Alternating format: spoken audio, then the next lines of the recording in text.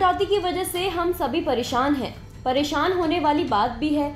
शहर में दो घंटे और ग्रामीण क्षेत्रों में चार घंटे बिजली कटौती की जा रही थी। और अब दोबारा बिजली कटौती से हम सभी पसीना पसीना हो सकते हैं। अब सोचने वाली बात यह है कि जहाँ 10 मिनट हम बिना बिजली के नहीं रह सकते, वहाँ इतने घंटे जब बिजली नहीं होगी, तब कितनी परेशानियों का सामना करना पड़ेगा। इस बिजली कटौती से सभी बहुत परेशान हैं। इतनी परेशानी झेलनी पड़ रही है कोयले की वजह से। वो कैसे, हम आपको बताते हैं। दरअसल बिजली की किल्लत का बड़ा कारण कोयले की कमी बन रही है। राजस्थान में गाइडलाइंस के मुताबिक 26 दिन का कोयला स्टॉक रखना होता है, लेकिन सिर्फ़ आठ दिन का ही कोयला बचा है।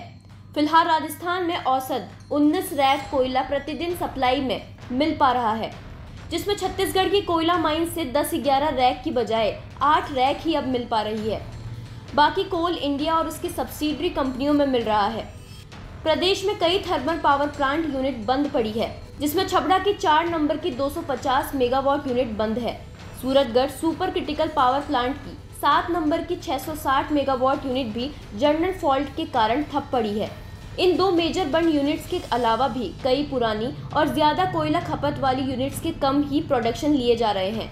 राजस्थान विद्युत प्रसारण निगम लिमिटेड आर के आंकड़ों के मुताबिक जयपुर डिस्कॉम एरिया में चौवन फीडर से, अजमेर डिस्कॉम एरिया में छियालीस फीडर से और जोधपुर डिस्कॉम एरिया में भी छियालीस फीडर से लंबी देरी तक बिजली की कटौती की जा रही है।